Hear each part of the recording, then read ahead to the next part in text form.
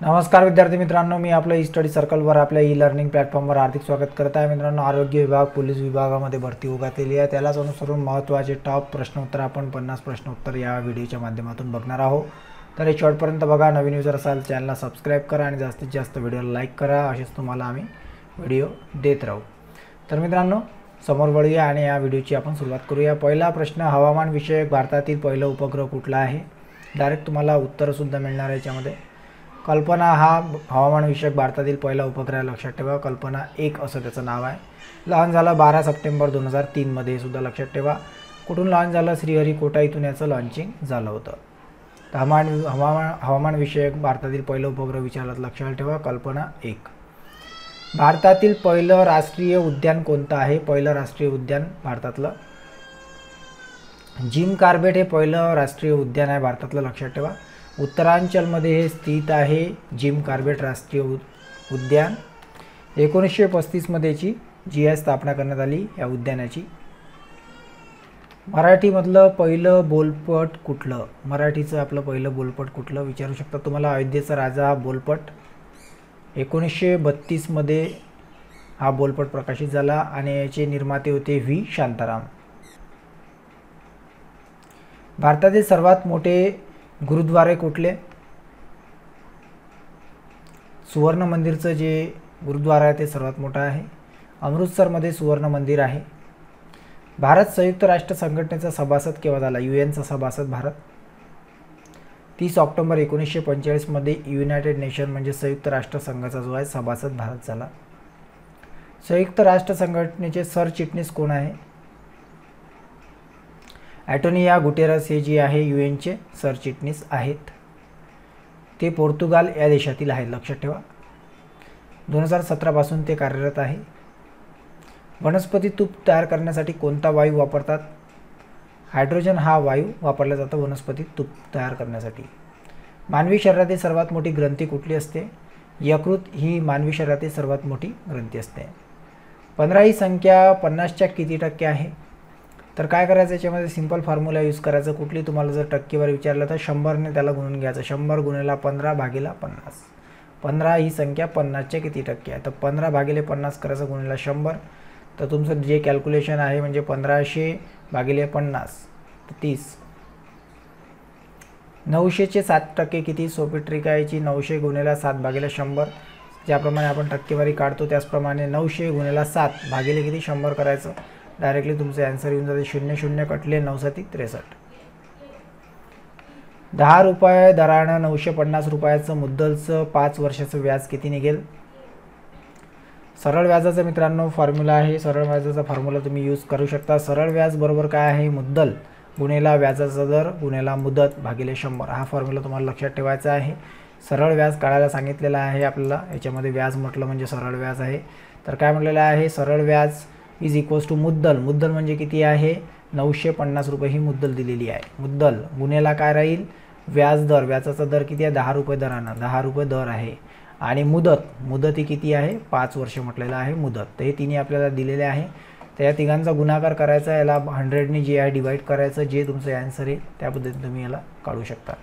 किंवा डायरेक्टली हा शून्य शून्य गेला आणि तशा पद्धतीने थोडंसं याला छोटं करूनसुद्धा तुम्ही याचं कॅल्क्युलेशन इझिली करू शकता. दादासाहेब फाळके पुरस्कार दोन हजार अठराचे मानकरी कोण? अमिताभ बच्चन साहेब. सहासष्ट व समारोह होतं दोन हजार अठराचं. अमिताभ बच्चन यांना जे आहे दादासाहेब फाळके पुरस्कार दोन हजार अठरा मिळालेला आहे. लक्षात ठेवा. धबधबा कोणत्या नदीवर आहे जोग फॉल्स? जोग फॉल्स हा जो आहे मोठा धबधबा आहे. दोनशे त्रेपन्न मीटरची उंची आहे. कर्नाटकमध्ये आहे शरावती नदीवर. त्यानंतरचा प्रश्न मित्रांनो भारतातील सर्वोच्च शिखर केटूची उंची किती आहे? केटू हा सर्वोच्च शिखर आहे. अठराशे आठ हजार सहाशे अकरा मीटर इतकी त्याची उंची आहे. त्याच्यानंतर दोन नंबरवर येतो कांचनगंगा त्याची पंच्याऐंशी अठ्ठ्याण्णव म्हणजे आठ हजार पाचशे अठ्ठ्याण्णव मीटर इतकी त्याची उंची आहे. लक्षात ठेवा केटू सर्वोच्च शिखर आहे भारतातलं. जग स्टॅच्यू ऑफ युनिटीची उंची किती आहे?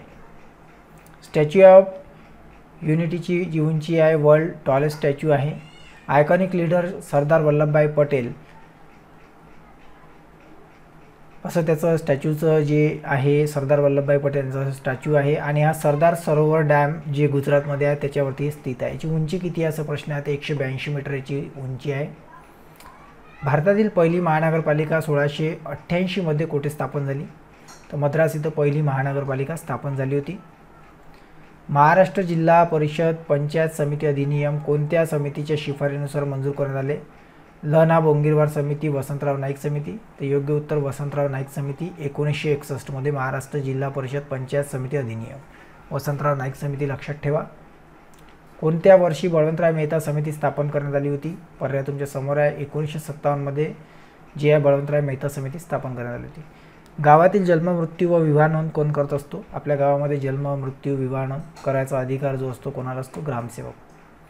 ग्रामपंचायत कर्ज कोणाला मंजूर करतं? ग्रामपंचायत कर्ज ग्रामपंचायतला जे आहे कर्ज कोण मंजूर करतं? तर जिल्हा परिषद हे जी आहे ग्रामपंचायतला कर्ज मंजूर करत असते. महाराष्ट्रातील पेन्स राष्ट्रीय उद्यान कोठा आहे? नागपूर बोरिवली अकोला रायगड. नागपूरला हे स्थित आहे पेन्स राष्ट्रीय उद्यान नागपूर जिल्ह्यामध्ये. उपसरपंचाची निवड कोणातून केली जाते? ग्राम नागरिक स्पर्धा परीक्षा घेऊन की ग्रामपंचायतमधून सदस्यातून? तर ग्रामपंचायतचे जे काही सदस्य असतात निवडून आलेले त्यांच्यामधून उपसरपंचाची निवड होते. गटविकास अधिकारीची निवड ही कोणामार्फत केली जाते? गटविकास अधिकारी एम पी एस सीमार्फत निवडले जातात. महाराष्ट्रात जिल्हा परिषदेची स्थापना कधी करण्यात आली? जिल्हा परिषद स्थापन झालं महाराष्ट्रामध्ये पंचायत राज एक मे एकोणीसशे बासष्ट. नॅशनल डिफेन्स अकॅडमी ही कुठं आहे? नॅशनल डिफेन्स अकॅडमी आहे पुण्याला लक्षात ठेवा. पोलीस भरतीमध्ये तुम्हाला विचारू शकता नॅशनल डिफेन्स अकॅडमी. एकाच जातीचे अनेक शब्द जर पाठोपाठ आले लागोपाठ आले तर कोणतं विरामचिन्ह आपण वापरतो? प्रश्नचिन्ह स्वल्पविराम पूर्णविराम तर आपण स्वल्पविराम याच्यामध्ये वापरत असतो. हात ओला तर मित्र भला या म्हणीचा अर्थ काय होतो? हातातली गोष्ट सोडून देणे. फायदा असेल तरच लोक जवळ येतात. वाईट कृत्याने फळ लगेच मिळते. तर फायदा असेल तरच लोक जवळ येतात. हात ओला तर मित्र भला. जे आपल्याजवळ पैसा वगैरे असेल तर आपल्या मागे मित्र फिरतात. वि स खांडेकर कोणत्या कादंबरीस ज्ञानपीठ पुरस्कार मिळाला वि स खांडेकर यांच्या ययाती श्यामची आई युगांत कृष्णकात पर्याय दिलेली आहे. ययाती हा त्यांचा जो कादंबरी आहे त्याला वि स खांडेकर यांच्या ही कादंबरी आहे तिला जो आहे ज्ञानपीठ पुरस्कार प्राप्त झाला. देवाने या शब्दात कोणत्या विभक्ती प्रत्यय आलेला ने लागलेला आहे. ने एशी तृतीयाची असते लक्षात ठेवायचं तृतीय आहे ने एशी शिक्षक मुलांना शिकवितात. या वाक्यातील प्रयोग ओळखा. शिक्षक मुलांना शिकवितात. शिक्षिका मुलांना शिकविते. तर इथे जे आहे जर तुम्ही कर्ता चेंज करून बघा म्हणजे लिंग चेंज करून बघा शिक्षक शिक्षिका. तर क्रियापदमध्ये जे आहे बदल होत आहे. क्रियापद काय? याच्यामध्ये शिकवितात. ज्या वाक्यानं शब्दाचा अर्थ पूर्ण होतो त्याला आपण क्रियापद म्हणत असतो. ओके? तर शिकवितात हा क्रियापद आहे. शिक्षक मुलांना शिकवितात. शिक्षकच्या जागेवर शिक्षिका टाकूया. शिक्षिका मुलांना शिकविते. ती मुलांना शिकविते तो मुलांना शिकवितो. तर याच्यामध्ये क्रियापदमध्ये बदल होत आहे. कर्त्यानुसार कर्ता जर आपण चेंज केला तर क्रियापदमध्ये बदल होतो. असं जर असेल कुठल्या पण दिलेल्या याच्यामध्ये तर कर्तरी प्रयोग असतो लक्षात ठेवायचा. जिल्हा स्तरावरील पोलीस खात्याचे प्रमुख कोण असतात? पोलीस अधीक्षक पोलीस आयुक्त पोलीस निरीक्षक यापैकी नाही.